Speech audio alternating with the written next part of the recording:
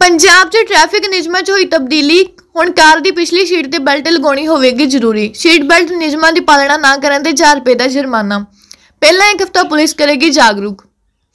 ਪੰਜਾਬ ਦੀਆਂ 13 ਲੋਕ ਸਭਾ ਸੀਟਾਂ ਦੇ ਚੰਡੀਗੜ੍ਹ ਦੀ ਇੱਕ ਸੀਟ ਸਮੇਤ 14 ਸੀਟਾਂ 'ਤੇ ਇਕੱਲੇ ਚੋਣ ਲੜਨਗੇ ਕੇਜਰੀਵਾਲ ਦਾ ਐਲਾਨ। ਫਰਵਰੀ ਦੇ ਅਖੀਰ ਤੱਕ ਹੋਵੇਗਾ ਉਮੀਦਵਾਰ ਦਾ ਐਲਾਨ, ਕਿਹਾ ਸੀਐਮ ਭਗਵੰਤ ਮਾਨ ਨੇ। ਅੱਜ ਆਮ ਪਾਰਟੀ ਕਰੇਗੀ ਤਰਨਤਾਰਨ ਚ ਮਹਾ ਰੈਲੀ ਸੀਐਮ ਭਗਵੰਤ ਮਾਨ ਤੇ ਕੇਜਰੀਵਾਲ ਗੋਇੰਦਵਾਲ ਸਾਹਿਬ ਸੱਤੀ ਤੇ ਜੀਵੇਗਾ ਤੋਂ ਖਰੀਦੇ ਥਰਮਲ ਪਲਾਂਟ ਨਵੇਂ ਨਾਮ ਗੁਰੂ ਅਮਰਦਾਸ ਜੀ ਥਰਮਲ ਪਲਾਂਟ ਕਰਨਗੇ ਲੋਕਾਂ ਨੂੰ ਸਮਰਪਿਤ। ਅਕਾਲੀ ਬੀਜੇਪੀ ਗੱਠਜੋੜ ਦੀਆਂ ਚਰਚਾਵਾਂ, ਸਿਖਰਾਂ ਤੇ ਦੇਸ਼ ਦੇ ਗ੍ਰਹਿ ਮੰਤਰੀ ਅਮਿਤ ਸ਼ਾਹ ਨੇ ਕਿਹਾ ਕਿ ਗੱਲਬਾਤ ਜਾਰੀ ਅਕਾਲੀ ਦਲ ਦੇ ਸੀਨੀਅਰ ਨੇਤਾ ਨੇ ਗੱਠਜੋੜ ਸਿਰੇ ਲੱਗਣ ਦੇ ਦਿੱਤੇ ਸੰਕੇਤ। ਕਿਸਾਨਾਂ ਦੇ 13 ਨੂੰ ਦਿੱਲੀ ਕੂਚ ਨੂੰ ਲੈ ਕੇ ਹਰਿਆਣਾ ਸਰਕਾਰ ਸਖਤ ਜ਼ਬਰਦਸਤ ਕੀਤੀ ਜਾ ਰਹੀ ਹੈ। ਬੈਰਕ ਐਂਡਿੰਗ, ਤਾਰਾ 144 ਲਾਗੂ ਪੰਜਾਬ ਪੈਰਾ ਮਿਲਟਰੀ ਫੋਰਸ ਦੀਆਂ ਕੰਪਨੀਆਂ ਹਾਈਵੇ ਤੇ ਤਾਇਨਾਤ ਕਿਸਾਨ ਜਥੇਬੰਦੀਆਂ ਦੇ ਆਗੂਆਂ ਦਾ ਦਾਵਾ ਕੋਈ ਰੋਕਿਆ ਨਹੀਂ, ਰੋਕ ਪਾਉਣਗੇ ਸਾਡੇ ਕਾਫਲੇ। ਮਾਸਟਰ ਤਾਰਾ ਸਿੰਘ ਨੂੰ ਦਿੱਤੇ ਜਾਵੇ, ਦਿੱਤਾ ਜਾਵੇ ਭਾਰਤ ਰਤਨ। ਅਕਾਲੀ ਦਲ ਦੇ ਪ੍ਰਧਾਨ ਸੁਖਬੀਰ ਸਿੰਘ ਬਾਦਲ ਨੇ ਪ੍ਰਧਾਨ ਮੰਤਰੀ ਨਰਿੰਦਰ ਮੋਦੀ ਨੂੰ ਲਿਖੀ ਚਿੱਠੀ।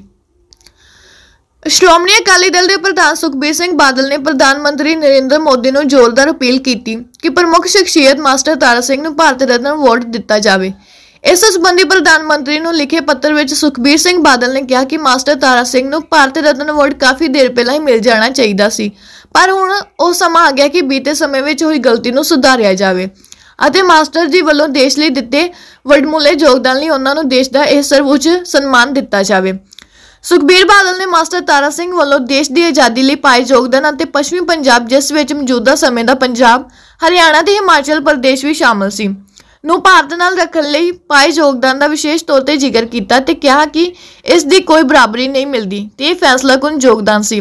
ਉਹਨਾਂ ਨੇ ਕਿਹਾ ਕਿ ਇਸ ਭੂਗੋਲਿਕ ਨਕਸ਼ੇ ਤੋਂ ਬਗੈਰ ਕਸ਼ਮੀਰ ਵੀ ਸ਼ਾਇਦ ਸਾਡੇ ਪੱਛਮੀ ਗਵਾਂਡੀਆਂ ਕੋਲ ਹੁੰਦਾ।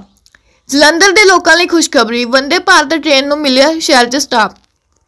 ਅੰਮ੍ਰਿਤਸਰ, ਦਿੱਲੀ ਦੇ ਵੰਦੇ ਭਾਰਤ ਐਕਸਪ੍ਰੈਸ ਟ੍ਰੇਨ ਨੂੰ ਲੈ ਕੇ ਅਹਿਮ ਖਬਰ ਸਾਹਮਣੇ ਆਈ ਹੈ। ਪ੍ਰਾਪਤ ਜਾਣਕਾਰੀ ਅਨੁਸਾਰ ਵੰਦੇ ਭਾਰਤ ਟ੍ਰੇਨ ਹੁਣ ਜਲੰਧਰ, ਕੈਂਟ ਦੇ ਨਾਲ ਨਾਲ ਜਲੰਧਰ ਸ਼ਹਿਰ 'ਚ ਵੀ ਰੁਕੇਗੀ। ਜਾਨੀ ਵੰਦੇ ਭਾਰਤ ਟ੍ਰੇਨ ਨੂੰ ਜਲੰਧਰ ਸ਼ਹਿਰ 'ਚ ਸਟਾਪ ਮਿਲ ਗਿਆ ਹੈ।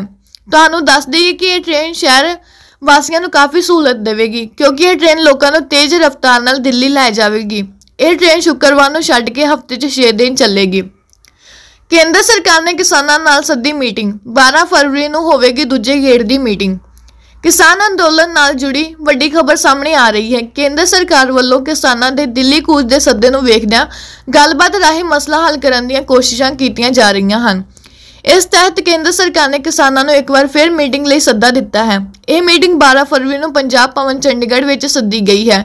ਇਸ ਸਬੰਧੀ ਭਾਰਤ ਸਰਕਾਰ ਦੇ ਖੇਤੀ ਅਤੇ ਕਿਸਾਨ ਭਲਾਈ ਵਿਭਾਗ ਵੱਲੋਂ ਕਿਸਾਨ ਨੂੰ ਪੱਤਰ ਜਾਰੀ ਕਰਕੇ ਮੀਟਿੰਗ ਵਿੱਚ ਆਉਣ ਦਾ ਸੱਦਾ ਦਿੱਤਾ ਗਿਆ ਹੈ। ਦੱਸ ਦਈਏ ਕਿ ਇਸ ਤੋਂ ਪਹਿਲਾਂ 8 ਫਰਵਰੀ ਨੂੰ ਵੀ ਕੇਂਦਰੀ ਮੰਤਰੀਆਂ ਤੇ ਪੰਜਾਬ ਦੇ ਮੁੱਖ ਮੰਤਰੀ ਵੱਲੋਂ ਕਿਸਾਨ ਆਗੂਆਂ ਨਾਲ ਮੀਟਿੰਗ ਕੀਤੀ ਗਈ ਹੈ। News bureau, mission Punjab.